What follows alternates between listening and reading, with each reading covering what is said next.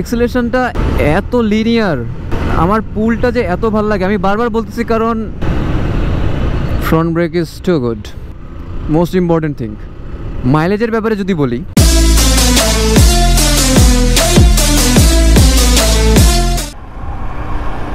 hello everyone welcome back to my YouTube channel I hope you guys are doing absolutely great. So এখন বাজে সকাল সাতটা পঁচিশ।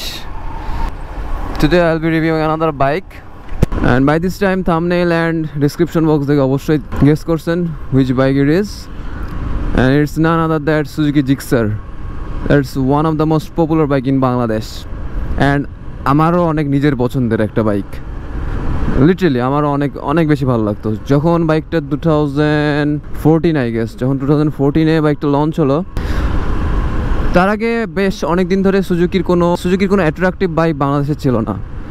But when the Gixxer launched I was like oh my god this bike is so great যদিও তখন হচ্ছে এফজেডএসের সাথে অনেকটা সিমিলার ছিল but still it has another dimension So today I will be reviewing the Suzuki Gixxer so see you there.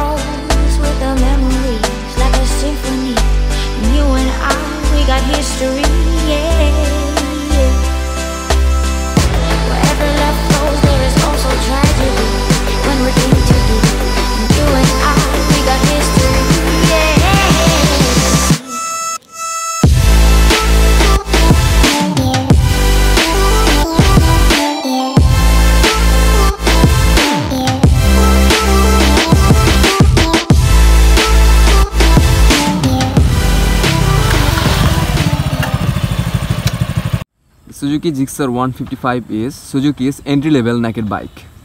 Starting from the front, it has 41mm conventional telescopic suspension.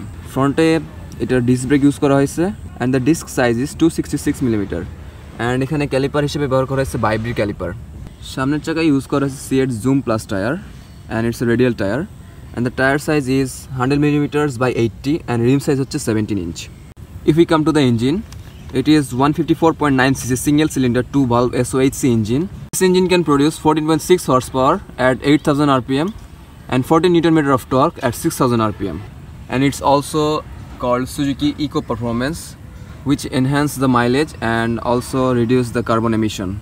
Another thing is, এটার engine oil capacity হচ্ছে eight hundred fifty millimetres oil filter সহ change করতে গেলে nine hundred fifty millimetres লাগে and the engine oil grade is ten W forty and এই single disc ভার্সনটা হচ্ছে carburetted engine and it has both self start and kick starter বাইকটার ground clearance হচ্ছে one sixty millimetres talking about the rear suspension it has monoshock suspension, which is 7 way adjustable. And পিছনের চাকা use করা হয়েছে CEAT zoom plus tyre and it is also radial and the tyre size is one forty millimetre by sixty and rim size হচ্ছে seventeen as well as it's a single disc version obviously পিছনের চাকায় drum brake use করা হয়েছে and the drum brake size is one thirty millimetres another thing to be noted এই single disc ভার্সনটাতে সিএটের zoom plus tyre use করা হয়েছে and basically it's flat surface tyre but যেটা ডাবল ডিস্ক ভার্সন ওটাতে MRF tyre use করা হয় and that was round surface tyre and this Gixxer has got a single long seat and সিটটা মোটামুটি comfortable হেডলাইটটাতে basically halogen light use করা হয়েছে but এখনকার যেই জিক্সারের ভার্সনগুলো আছে সেগুলো সবগুলো LED light and tail light হিসেবে এলইডি লাইট ইউজ করা হয়েছে হুইচ লুকস নাইস পিলনে বসার জন্য একটা শাড়ি কার্ড দেওয়া হয়েছে।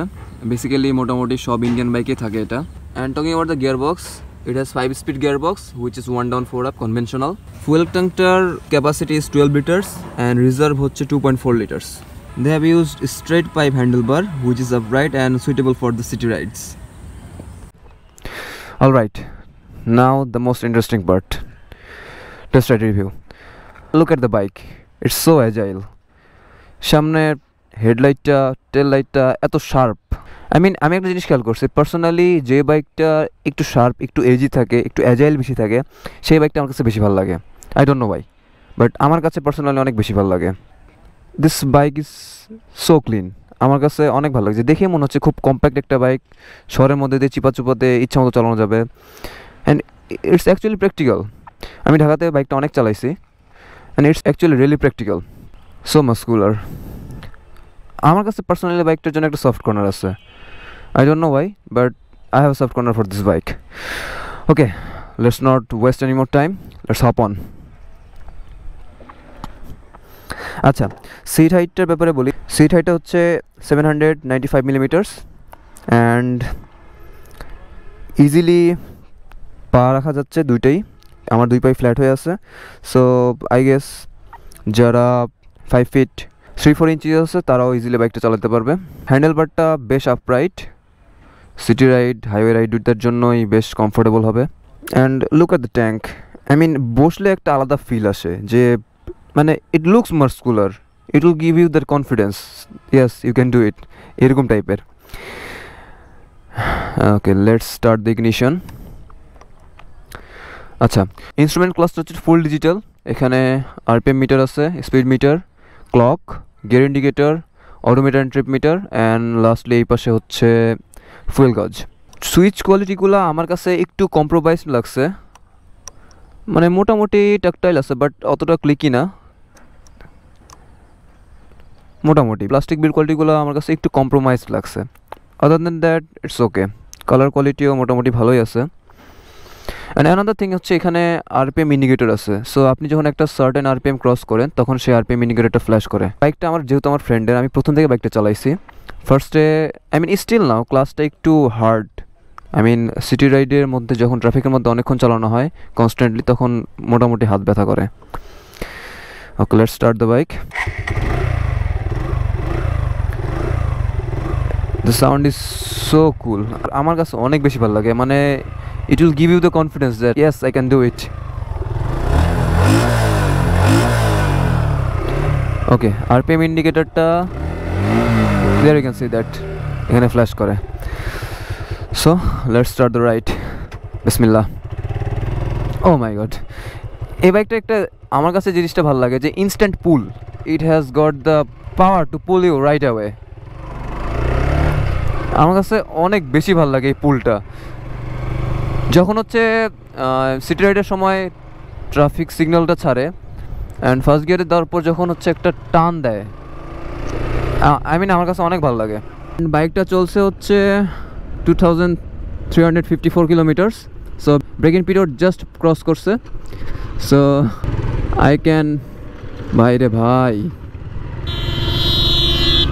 অল রাইট সুজুকি জিক্সারে যেটা কমন প্রবলেম আমি দেখছি। প্রবলেম বলব না, এটা একটা ব্যাক সাইড বলা যায়, গিয়ার শিফটিংটা অনেক হার্ড প্রথম প্রথম যখন বাইকটা চালাই আই মিন গিয়ার শিফটিংটা অনেক বেশি হার্ড অনেক বেশি হার্ড বাট আস্তে আস্তে যখন সার্ভিসিং করতে দিল অ্যান্ড আস্তে আস্তে গিয়ার শিফটিংটা একটু নরম হয়েছে, এখন মোটামুটি ভালোই আছে বাট গিয়ার শিফটিংয়ের শব্দ হয় প্রচুর। সিটিং পজিশনটা বেশ কমফোর্টেবল আই মিন পুরোপুরি কমিটেড না, একটু স্পোর্টি ফিলও আছে and at the same time quite comfortable talking about the brakes সামনের ব্রেকটা অনেক অনেক বেশি responsive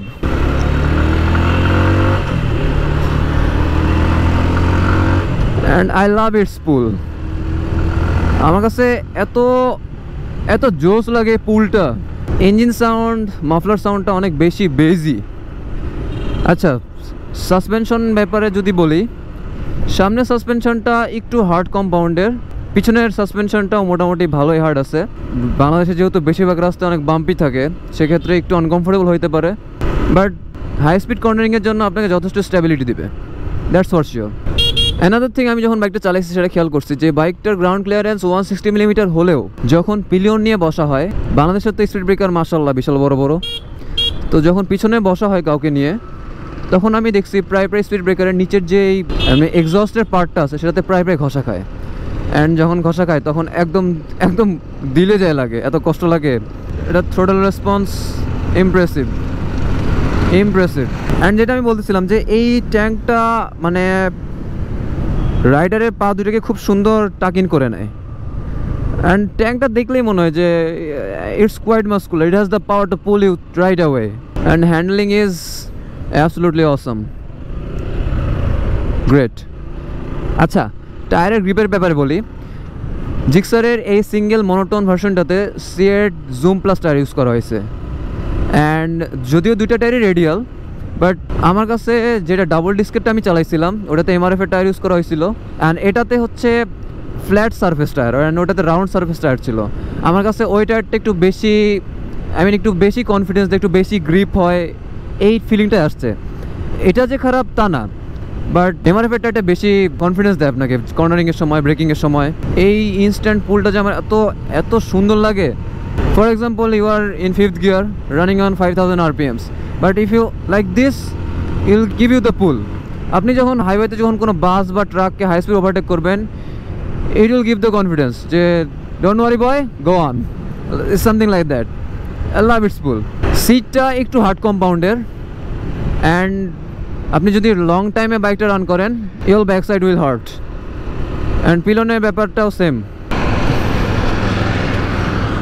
handling is so awesome so awesome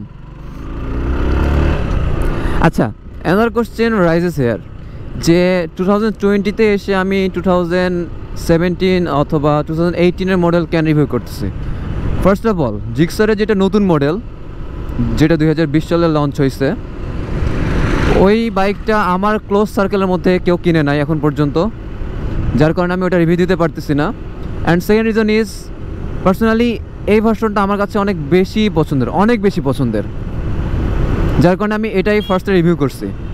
so hopefully ইনশাল্লাহ, যখন, যদি কোনো দিন সুযোগ থাকে I will review the latest version as well but for now let's enjoy this beauty এক্সেলেশনটা এত লিনিয়ার আমার পুলটা যে এত ভালো লাগে, আমি বারবার বলতেছি কারণ I have felt it and specially আমার কাছে বেশি ইন্টারেস্টিং লাগতেছে because I ride one twenty five CC engine so it's quite powerful comparing to my bike handling so good সাসপেনশনটা আরেকটু সফট কম্পাউন্ডের হইলে বাংলাদেশের রাস্তার জন্য আরেকটু কমফোর্টেবল হতো। বিকজ বাংলাদেশে বেশিরভাগ রাস্তার যে অবস্থা উই অল নো দ্যাট আচ্ছা লুকিং গ্লাসের ভিজিবিলিটি বেশ ভালোই আছে ওয়াইড আছে ক্লিয়ার ভিজিবিলিটি পাওয়া যাচ্ছে। I am just enjoying this bike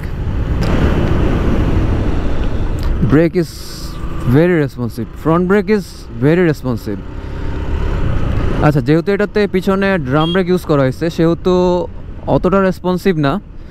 speed কমানোর জন্য ঠিক আছে।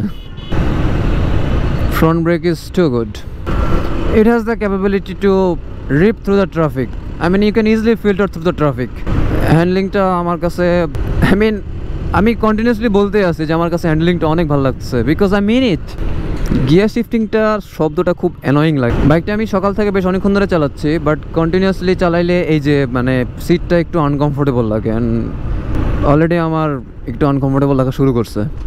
বাইকটার ওয়েট হচ্ছে one thirty five kgs weight ডিস্ট্রিবিউশনটা বেশ ভালোই। যথেষ্ট নিম্বল আছে। ফ্লিকেবিলিটি যথেষ্ট ভালো। হর্নটা বাইকটার সাথে যায় নাই। আই মিন এত মাস্কুলার অ্যান্ড পাওয়ারফুল একটা বাইক বাট হর্নটা এরকম কেন? মোস্ট ইম্পর্টেন্ট থিং মাইলেজের ব্যাপারে যদি বলি, আমি ঢাকা সিটি ট্রাফিকের মধ্যে মাইলেজ পাইছি এটা around thirty five to thirty eight and হাইওয়েতে পাইছি thirty nine to forty oh my god front brake is so great বাইকটা আমার কাছে একটা পারফেক্ট বাজেট নেকেড বাইক লাগে